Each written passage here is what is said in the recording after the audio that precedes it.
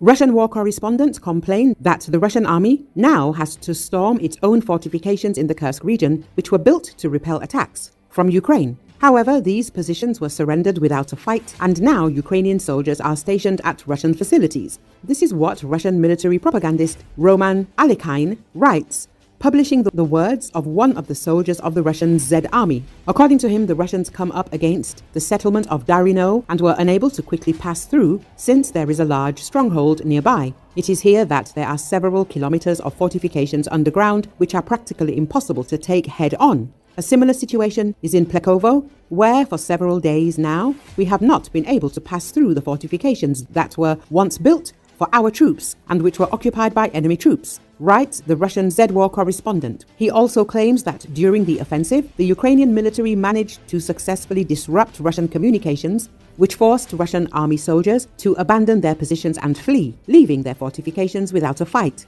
This led to panic among the Russian military. Alekhine writes, Ukraine's President Volodymyr Zelensky has acknowledged that Ukrainian troops are engaged in a fierce battle with Russian forces trying to take back territory in the Kursk region in western Russia. Russia announced that more than 110,000 people have been evacuated from the border region of Kursk in response to Ukraine's offensive, which has been ongoing since August.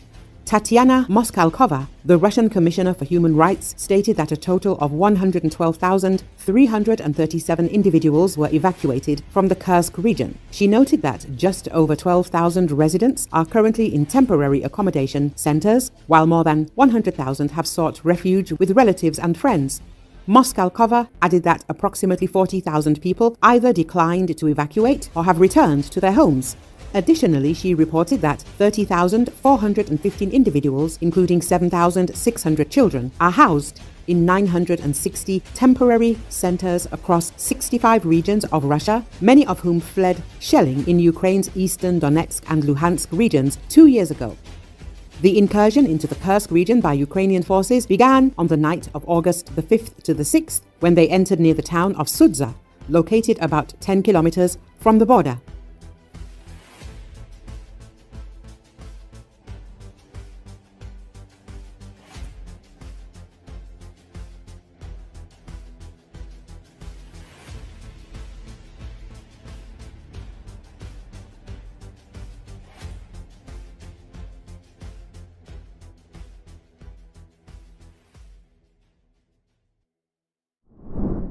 The Russian invading troops are exhausted and exhausted by constant meat assaults. The president of the Russian Federation, Vladimir Putin, is actively trying to find additional life force, but everything is not so simple. The Russian army is facing significant losses and a lack of human resources due to the long war against Ukraine. Newsweek editors draw attention to the fact that during the two and a half year war against Ukraine, the aggressor country of the Russian Federation lost more than 665,000 of its soldiers. What is important to understand is that more than a thousand Russian occupiers die or are injured every day.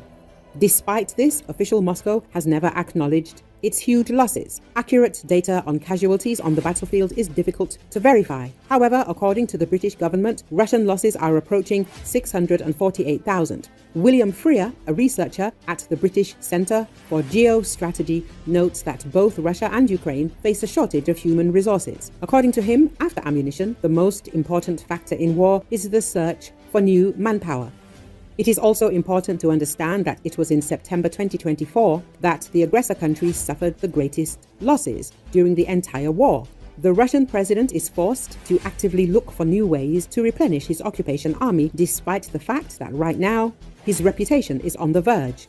Putin hopes to make voluntary military service more attractive, while he does not reject unpopular options such as sending conscripts to Ukraine or announcing a new wave of mobilization. Russia uses several resources for military recruitment. These are regular conscripts, contract workers, reservists, as well as mercenaries, such as the fighters of the Wagner Group and foreigners who joined the war in exchange for high salaries and citizenship, Newsweek said. What is important to understand is that it is mobilization that is currently a controversial issue for Putin because a significant number of men of conscription age have left the country to avoid service. This did not prevent the Kremlin from introducing new rules allowing electronic subpoenas to be sent to Russians. However, the problem of lack of manpower is still relevant for the aggressor country.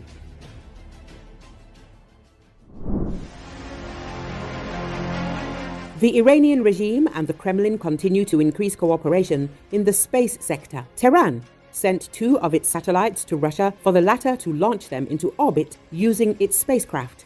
We are talking about the satellites Kawsar and Hodod.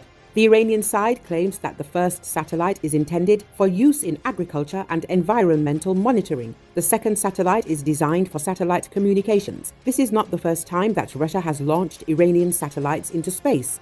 US authorities have expressed concern about the growing cooperation between Tehran and Moscow in the space sector. It is possible that the satellites being launched could be used for military purposes. It is noteworthy that the current transfer of Iranian satellites to Russia is taking place against the backdrop of the escalating situation in the Middle East. Potentially, these satellites could be used by Iran to track military targets in, in Israel. Moreover, Russia itself could use the satellites in the war against Ukraine. Russia has already sent Iranian satellites into orbit in February 2024 and 2022. At the same time, the United States was concerned about space cooperation between Russia and Iran. Washington feared that the satellites would help Russia in its war against Ukraine and allow Iran to track potential military targets in Israel and the Middle East. Iran is perhaps Russia's largest military partner. Tehran has provided Moscow with Shahed type kamikaze drones and technologies for their production. Iran has also provided Russia with ballistic missiles. Western media speculated that the Russian regime had given Iran military aircraft in return. Western partners fear that Moscow may share nuclear technology and resources for weapons production with Tehran. According to the Telegraph, Iran believes that Russia owes it for weapons supplies. As previously reported, Iran requested Russia's help in conducting satellite reconnaissance in anticipation of a possible strike by Israel. As is known, Israel promised to respond to the large scale missile attack on Israeli territory by Iran carried out on October the 1st.